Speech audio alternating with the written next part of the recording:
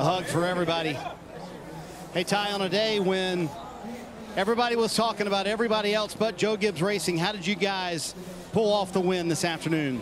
Yeah, you know, uh, we had a very fast Monster Energy Toyota GR Supra. I'm so excited. Uh, also, when this, you know, this, uh, I feel like this style racing shows the strategy and the pit stops. So, um, you know, even though it's pretty spread out, uh, you know, my guys did a great job. Um, you know, my pit crew, they worked so hard I work out with them during the week, and I see how hard they work. So, every one of them, uh, you know, they're they're great job, and uh, you know, my cousins pitted now in the 22, so it's cool to see my family involved. So all glory to God, uh, all glory to Jesus, and thank you to my team, Monster Energy, uh, TRD, Sport Clips, Interstate Batteries.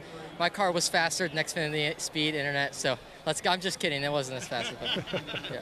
There you go. Hey, Chris Gayle told me this morning this is a race where all the cards are on the table. We'll know who has what going into the playoffs. So, what kind of statement was this from Joe Gibbs Racing and you today? Uh, I don't mean it depends who you look at. I just race week in, week out, but people can get all excited and think they're making a huge statement and then they go in the playoffs and suck. So I'm just doing what I can week in, week out, and I'm glad to be interviewed by you, Marty. Yeah, you had a busy day in the Cup car as well. Are those laps helping you when you get in this Xfinity car? Uh, I mean, I'm very thankful for the opportunity. We hope Kurt gets better, but that doesn't help me. It's so different, and the way the car is is so different. So you think these are hard to drive. Wait till you get the Cup Series. What a performance from Ty Gibbs and everyone at Joe Gibbs Racing today. They're in victory lane here at Michigan.